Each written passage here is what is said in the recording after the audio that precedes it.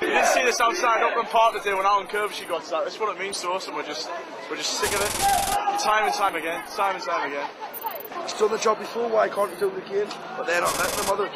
Dennis Wise, what, he wants every same no matter what players and what contracts. They go own a part in that, and Keegan knows what he's doing, and they're just not letting him. So now, where are we going to go from here? We don't want Wise in there. We want Mr. To get out of this town as quick as possible. I think he's a stupid, idiot man. And we don't want Dennis Wise as manager.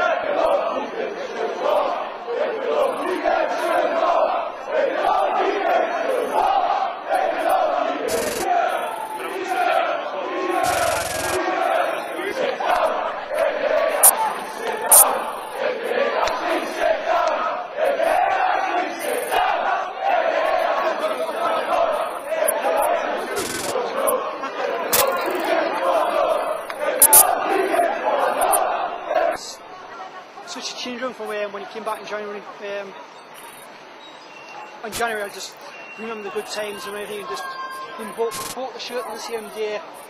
Now it's just like it's like it's like somebody's died.